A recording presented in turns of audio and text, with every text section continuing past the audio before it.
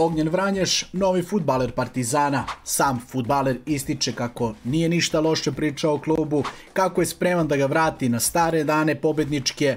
Da li se vama sviđa ovaj transfer? Pišite mi dole u komentarima i za još ovakvog sadržaja bacite like i follow.